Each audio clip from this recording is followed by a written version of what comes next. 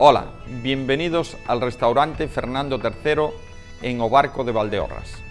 Les presentamos uno de nuestros platos típicos, cabrito al ajillo aromatizado con godello de Valdeorras.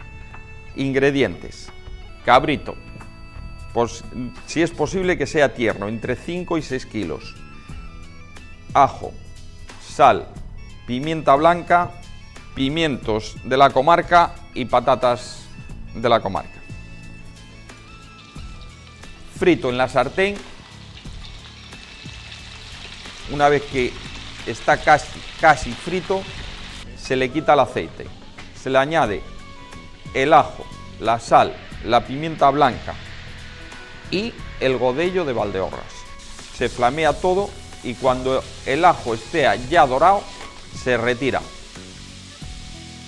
se presenta en un plato blanco grande con los pimientos fritos y las patatas fritas de la comarca.